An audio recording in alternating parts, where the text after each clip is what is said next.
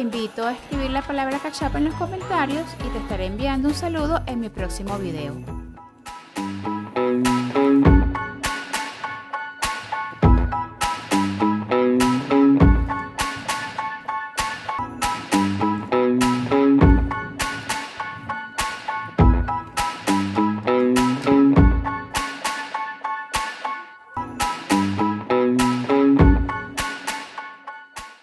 Si te está gustando esta receta, presiona el botón me gusta y suscríbete. Me estarás ayudando a seguir creando contenido para este canal.